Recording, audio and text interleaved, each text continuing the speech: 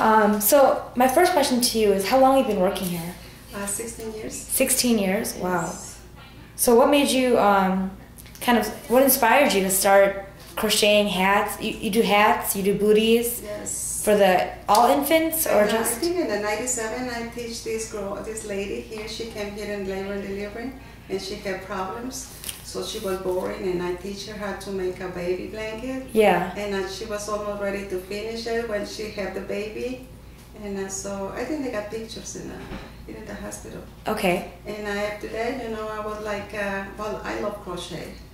And uh, so people asking me to teach them, and I teach them a few people here in labor delivery.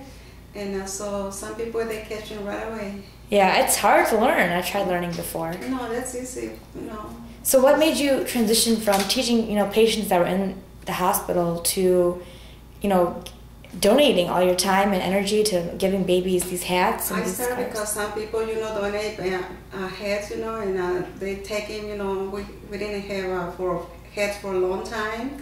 And uh, so that's when I'm start to making my hats. Yeah. And I put them the little flower like uh, like this one. Yeah, they're so cute. And uh, so there's a lot of people like it, and uh, they're so happy. And uh, so every time when I make some, I was making here on my break or on my lunch because sometimes I eat breakfast at home. So Yeah.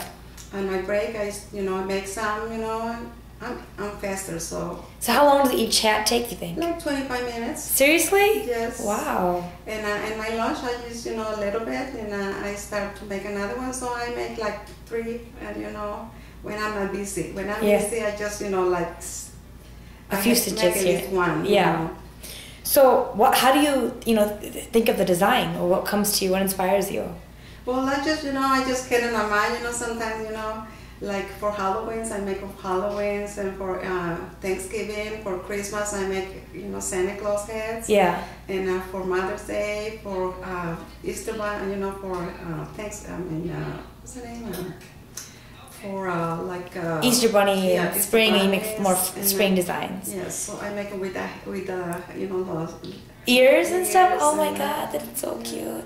Wow. So, um, how do you get the materials, and how do you like you know maintain doing this for so long? Well, I got you know I buy the material when uh, they're on sale, and uh, some of the nurses they they don't work here no more, and uh, sometimes they know I make the heads, so sometimes they give me some, you know, at least one or two skin or yarns. and- Yeah. So how many how many babies do you think you've given hats to so far? Uh, well, maybe like ten, you know. Yeah. Sometimes I don't have no time, and I make some at home. Yeah. So the next. But every baby that walks out of here gets yes gets one, Yes. and the booties too, or Yes. one or the other. Yeah, think? what are the other ones? Well, Yeah. most of the time the uh, the head. Yeah. Like. So what, what else did you bring to show us? Yeah, I got the. You want me to show how to make it or? Yeah, sure. Yes.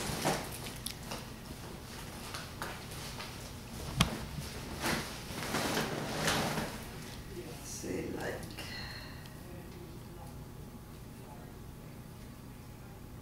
Wow.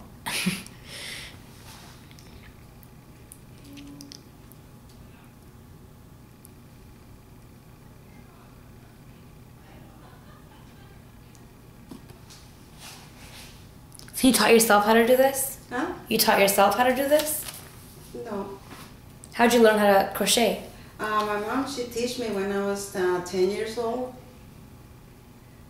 When I have, uh, I think, 12 years old, I make a bedspread. Okay. And uh, she gave it away, and I was crying because that was the first thing that I made. Yeah. So do, do you have any uh, children of- of yourself of your own? Yeah, I got uh, one at home. You know, some of us I, I like to give uh, uh, my you know my family and uh,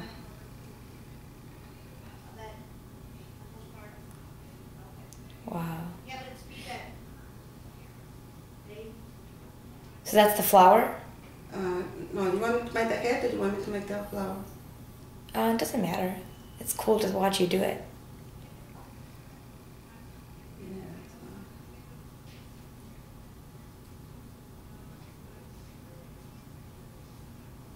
So how, what else did you bring? Did you have um, any booties or anything in there or no? Uh, no, I didn't. I've seen them before. We'll take we'll grab some from the OB and take pictures with them. Yeah. Hats are really cute. I make some, but I gotta make home. So Yeah. yeah, How, how long have you been working? At least 16 years at Silver Cross, right? yeah. Why do you love Silver Cross Hospital? Why not? Uh, everybody, you know, they're uh, so friendly and uh, they, well, they uh, treat me like one of, you know, like one of them, and Yeah. uh, they don't make no difference about me, you know. Yeah, so.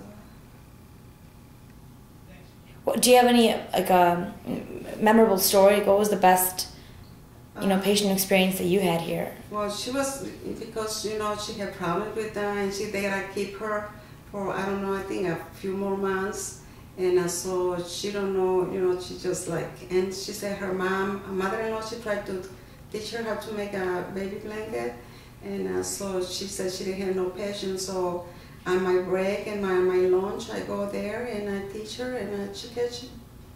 And she was proud of her, you know, that Yeah. she learned how to.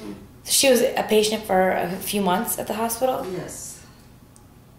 So that's what inspires you because people really appreciate it. Mm-hmm. So Yeah, it's a handmade still- touch. She still, you know, and uh, send me pictures. So Yeah. yeah, yeah. So So that's the bottom of the hat, or that's the top of the hat. that's the top of the head. So you you you crochet top to bottom. Yes. And that will take about what twenty minutes to do Yeah, finish. yes. I don't know. You wanna? I to tape all of it. I just interested.